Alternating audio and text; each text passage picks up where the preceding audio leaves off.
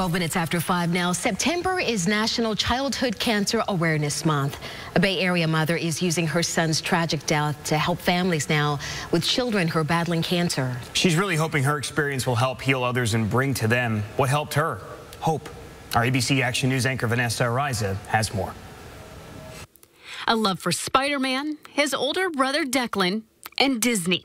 He may only have been six, but Finn's mom, Christian Grace, says her son lived through more in those years than many of us ever will. It, to know Finn was to know he was an old soul. I mean, really, he was the kind, he had that yasher attitude. At the age of five, in 2018, Finn was diagnosed with Ewing sarcoma, a rare cancer that grows in the bones or soft tissues around the bones.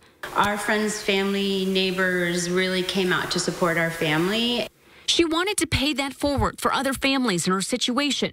Thus was born Finn's Fighters, a nonprofit aimed at supporting families both financially and emotionally. As Finn fought cancer, the two worked together to build the foundation. And I said, you know, you're going to inspire people, or you are inspiring people at the time. I said, you're inspiring a lot of people, you know, being so brave at five years old. Sadly, Finn relapsed and in January of 2020 died at the age of six. And I think as a bereaved parent, that's the scariest thing is, is for people to stop talking about your child. Finn's Fighters isn't only helping families.